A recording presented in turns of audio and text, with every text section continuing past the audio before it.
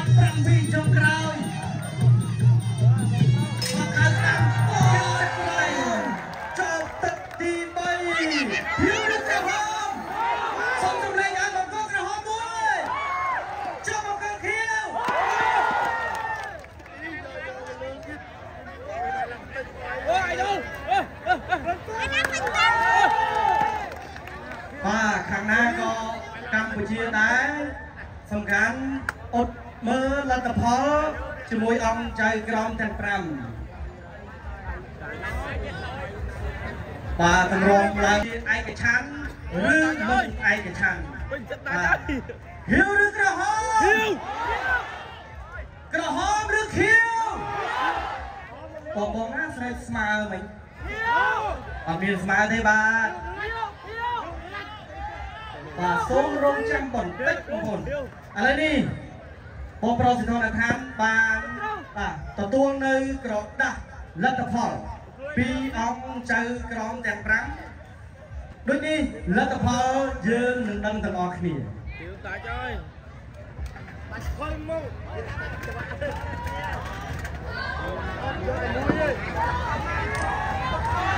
បន្ទាត់បន្ទាត់បន្ទាត់បន្ទាត់អូ មានរឿងត្រូវនិយាយគ្នាបាទខ្ញុំអត់ដឹងដល់ទេតរបងនឹងខាងបានដឹងថាអង្គចៅក្រមទាំង5ដាក់បន្ទូដោយលទ្ធផលយ៉ាងណាបាទអូខេហើយហើយខ្ញុំក៏រំភើបក៏រំភើបក៏យប់យល់អារម្មណ៍បុកបុកបុកបើសើទាំងអ្នកកណ្ដាលកណ្ដាលដែលខ្លាំងទាំងអស់គ្នាបាទខ្ញុំសូមធ្វើការប្រកាស ដូចតទៅចែកក្រុមទី1រកបន្ទុក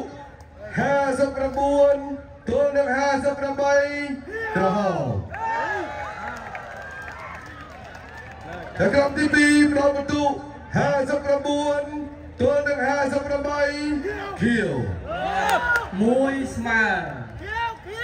ចែកក្រុមទី3រកបន្ទុក59ទល់នឹង58 ចែកក្រុមទី4រកបន្ទុក59ទល់នឹង58ចាក់ក្រុមទី5ប្របន្ទុក60ទល់នឹង57 4 1មុនឯកច្ឆានមិនឯកច្ឆ័ន្ទជ័យជំនះម្ចាស់ខ្សែក្រវ៉ា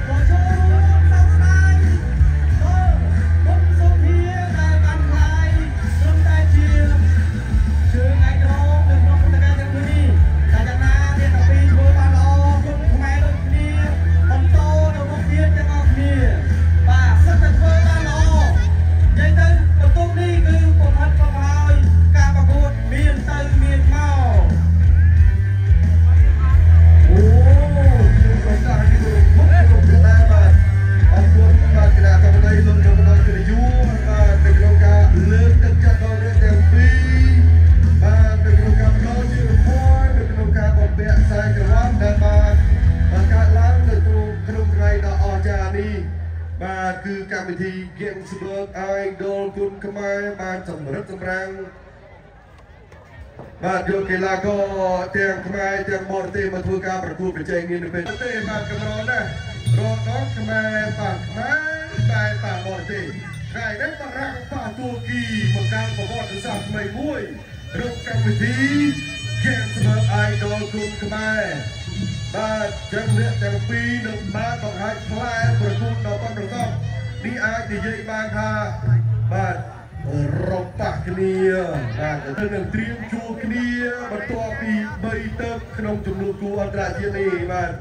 សូមចម្លែងដល់កម្មវិធី Games World Idol គុណខ្មែរទាំងអស់គ្នាមួយបាទអរគុណបាទបងប្អូនទាំងអស់ទាំងបរិសទាំងនារីបានបង្ហាញនៅភាពញញឹមញញឹមនេះគេសម្បត្តិចក្រមត្រៀម ត្រៀមត្រៀមគេសម្បត្តិអៃដលគុណខ្មែរគូមិត្តភាពអន្តរជាតិរវាងបារាំងជាមួយនឹងទូគីទឹកទី1រោគុណបាទទស្សនាទឹកទី1ទៅបងបាទបង្គោលក្រហមគឺអូបាបង្គោលខៀវគឺអាដិមបាទជាសុំឲ្យខ្លីខ្លីបែបនេះងាយស្រួល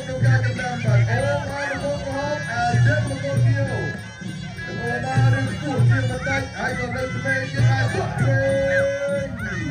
បាទតារាជួបតែជេងអូយបាទកីឡាករទូគីហាក់ដូចជាស្រឡាញ់ការបន្តិចនៅពេលដែលឃើញបាទអ្នកកណ្ដាលបារាំងគោះមកតែជួយទៅគាត់រៀនស្រឡាញ់ការបន្តិចតែនេះគុំ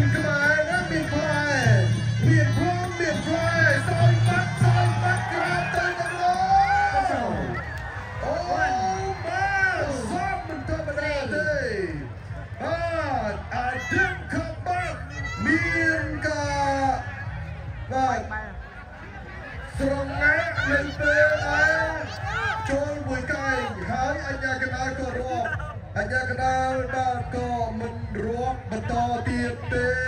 ក្រោយពេលដែលអាដិនបាទបានអឺប្រតិកម្មរបស់គាត់គឺត្រង់ថាហេតុអីបាទហេតុអីបាទជាមានការប្រាកែងសូមបញ្ជាក់ថាគុណខ្មែរមានផ្លែបមានដៃមានជើងមានកែងមានជង្គង់ត្រង់ដែរបាទគឺពុះបាទពុះជុំពីលើតែម្ដងបើដែលបើហាមហាមពីក្រោយបាទ បើមានការប្រើកែងពីខាងក្រោយនោះអឺមិនមែនជាអ្វីដែលត្រូវប្រើទេព្រោះធម្មតាការប្រើប្រាស់នៅអាវុធបាទគឺហាមផ្ដាច់គឺគឺខាងក្រោយ តែកាលនេះគឺអូបាបាទគុកមកកែងភឹកយកពីលើចុះក្រោមធ្វើឲ្យអាដាមកាបែកបានមានការស្រងាត់ស្រងល់ហើយអាដាមក៏បាទ